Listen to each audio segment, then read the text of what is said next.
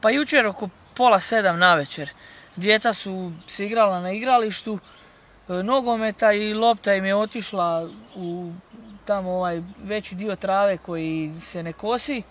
I kad je išao po loptu, htio je pokupiti loptu sa zemlje i u tom trenutku kako je spuštao ruku, zmija ga je ugrizla za ruku, za podlakticu i došao je kući, obavijestio nas, mi smo ga odvezli na hitnu i tamo je zaprimljen, ostao je do sutra ujutro će biti u bolnici na razmatranju, mhm. promatranju i to je to.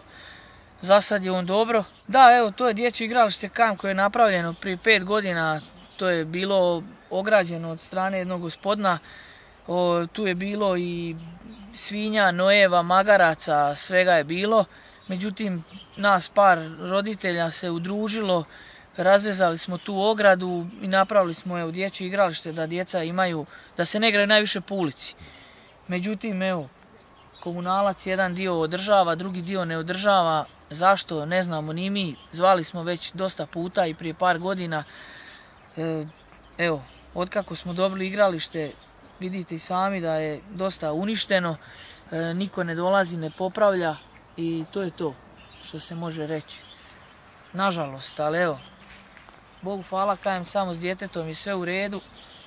Samo evo nek se riješi problem da ne bilo i tuđa djeca da nastradaju. Udruga zmijolovaca ujutro su bili, gospodin Karamazan i gospodin Vlado pregledali su sve, e, nisu našli zmiju, međutim oni e, kažu da ovaj teritorij njima najviše odgovara.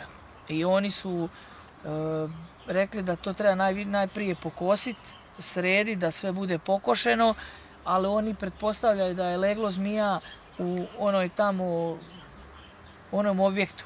Jer taj objekat e, se ne koristi već godinama i nije i kod njih održavano, košeno po dvorištu i one su tamo sebi napravile sigurno nekako ognjište gdje one slobodno šetaju, odaju.